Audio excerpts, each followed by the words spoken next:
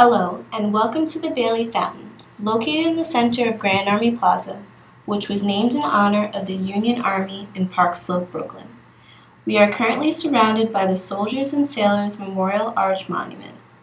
As you walk around the statue, you will notice larger than life allegorical and mythological figures. The sculpture includes the god of war, water Neptune and a pair of nudes, one male and one female, representing wisdom and felicity. How tall and how wide do you think the fountain is? The sculpture stands 15 feet long, a whopping 18 feet wide, and 13 feet high. Did you imagine that the fountain would ever be this huge?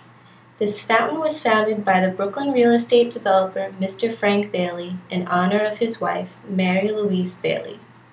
In appreciation of the opportunities which Brooklyn has afforded me during my residency here for the past 42 years. Can you guess how much Frank Bailey gave to fund the fountain? Mr. Bailey was a well known financier and philanthropist who wanted to thank Brooklyn and gave a $125,000 donation to fund the sculpture. Wonder how much that would be in 2010? $125,000 in 1932 is equal to over $1.8 million today. He grew up in upstate New York and held many honorable positions including being the founder and trustee of the New Museum of the City of New York and chairman of the Brooklyn Botanic Garden. The Bailey Fountain is the fourth and longest standing fountain in this location. The first fountain was known as the Fountain of the Golden Spray and was completed in 1867.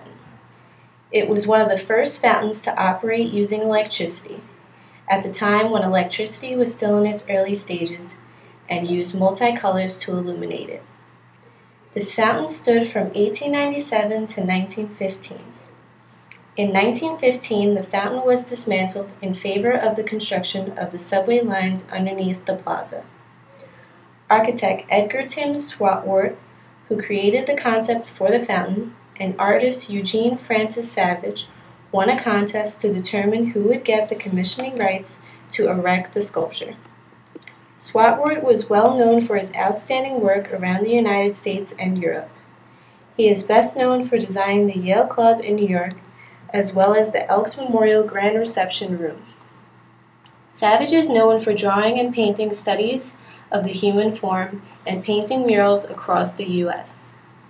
As you face towards felicity and wisdom, at the base you will see the inscription on the pedestal.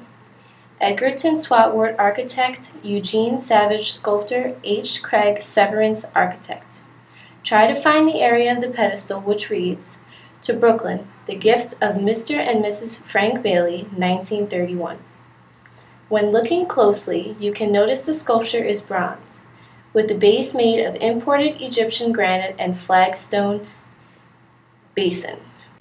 Be warned, if you dare step into the fountain, you risk being fined $50.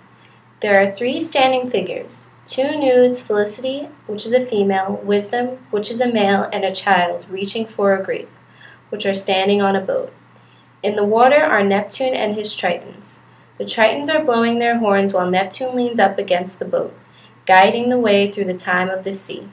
Feel free to walk around the fountain to notice all the great details. details.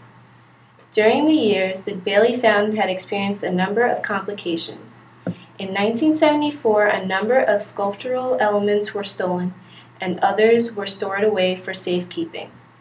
By 1996, the ground beneath the basin of the fountain had shifted so much that one side was nearly a foot taller than the other, and the water started spilling right out of the fountain.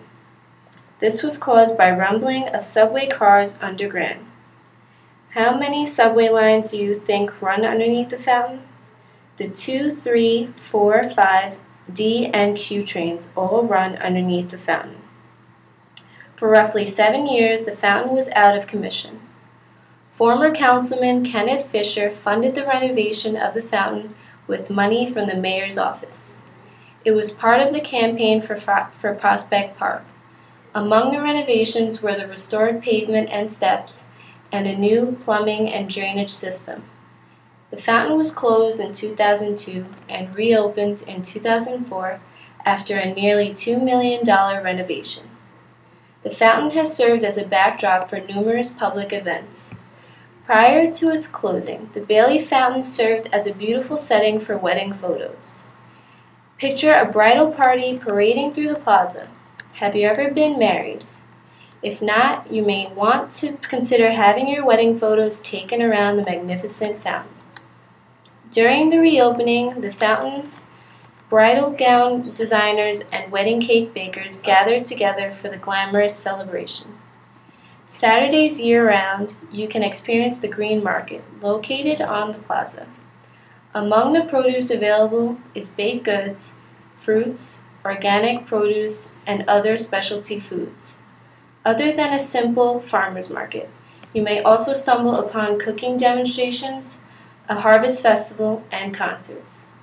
Hope you have enjoyed this one of a kind fountain and have appreciated its rich history. Please feel free to visit the Soldiers and Sailors Memorial Arch Monument and the Brooklyn Central Library located across the plaza.